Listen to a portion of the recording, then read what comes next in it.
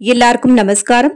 தினம் ஒரு ஸ்லோகம் பகுதியில இன்னைக்கு நம்ம எண்பதாவது ஸ்லோகம் பார்க்கலாம். தினமும் இந்த நான்கு வரை பாராயணம் செய்தால் மனக்கவலை பாவம் ரோகம் துக்கம் சத்ரு பயம் இவை அனைத்தும் குரு தத்தாத்திரேயருடைய அருளால் தீர்ந்துவிடும்.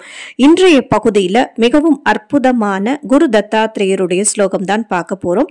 ஸ்லோகம் பார்க்கறதுக்கு முன்னாடி தினம் ஒரு ஸ்லோகம் பகுதியில இதுவரைக்கும் நான் எண்பது ஸ்லோகங்கள் ஷேர் பண்ணியிருக்கேன். சப்போஸ் நம்மளுடைய சேனலுக்கு நீங்க புதுசா இருந்தா இதான் ஃபர்ஸ்ட் டைம் பாக்குறீங்க அப்படின்னா நம்மளோட சேனல்ல ஃபுல்லா ஸ்பிரிச்சுவல் கண்டென்ட் தான் இருக்கும். எல்லாமே தனித்தனி பிளேலிஸ்டா நான் கிரியேட் பண்ணி வச்சிருக்கேன். தினம் ஒரு ஸ்லோகம் பகுதியில் உங்களுக்கு நிறைய ஸ்லோகம்ஸ் வந்து இருக்கும். உங்களுக்கு என்ன ஸ்லோகம் தேவையோ அதை எடுத்து நீங்கள் பாராயணம் பண்ணிக்கலாம். அதே மாதிரி மகாபிரிவான்னு ஒரு பிளேலிஸ்ட் இருக்கு. அதில் பெரியவா சொன்ன ஸ்லோகம்ஸ் பரிகாரம்ஸ் எல்லாம் இருக்கும். ஹஸ்பண்ட் ஒய்ஃப் ஃப்ரீ யூனியனுக்கு தனி பிளேலிஸ்ட்டாகவே கிரியேட் பண்ணியிருக்கேன். அதில் அதுக்கு ரிலேட்டடான ஸ்லோகம்ஸ் எல்லாம் இருக்கும். நீங்கள் அந்த பிளேலிஸ்ட்டை செக் பண்ணிங்கன்னா உங்களுக்கு என்ன தேவையோ அதை எடுத்து நீங்கள் பாராயணம் பண்ணிக்கலாம். இப்போ இன்றைய பதிவுக்குள்ளே நம்ம போகலாம். இன்றைக்கி வந்து தத்தாத்திரேயருடைய ஒரு அற்புதமான ஸ்லோகம் தான் பார்க்க போகிறோம் தத்தாத்திரேயர் பிரம்மா சிவன் திருமால் மூவரையும் உள்ளடக்கிய ஒரு கடவுள். அதனால தான் இவரை திருமூர்த்தி அப்படின்னு அழைக்கிறோம். பரமேஸ்வரனே அத்ரி முனிவருக்கு மகனாக பிறப்பதாக உறுதியளித்து தத்தாத்திரேயராக தோன்றினார் அப்படின்னு புராணங்கள்ல எல்லாம் சொல்லப்படுறது. இப்போ ஸ்லோகம் பார்க்கலாம். பாபம் தாபம் வியாமிம் மாதீம் ச தைரியம் பீதிம் கிளேசம் தம் ஹராஷு ததன்யம்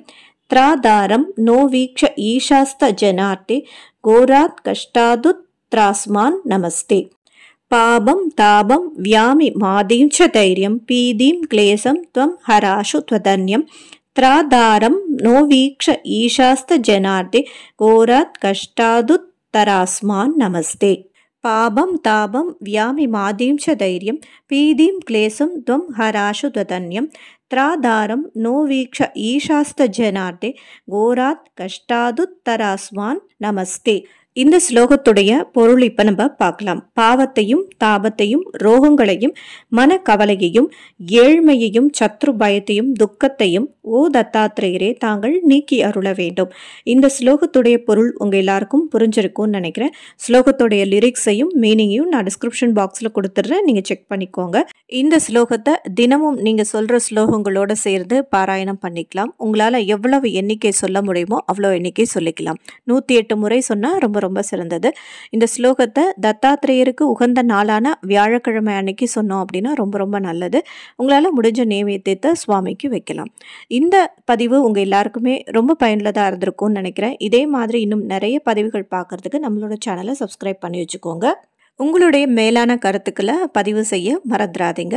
இன்னும் என்ன மாதிரியான பதிவுகள் உங்களுக்கு வேணும் அப்படிங்கிறதையும் கமெண்ட் பாக்ஸில் பதிவிடுங்க. இன்னொரு அருமையான பதிவில் நம்ம சந்திக்கலாம். நன்றி வணக்கம். ஸ்ரீ மகா பிரிவாச்சரணம் ஸ்ரீராம ஜெயராம் ஜெய் ஜெயராம்.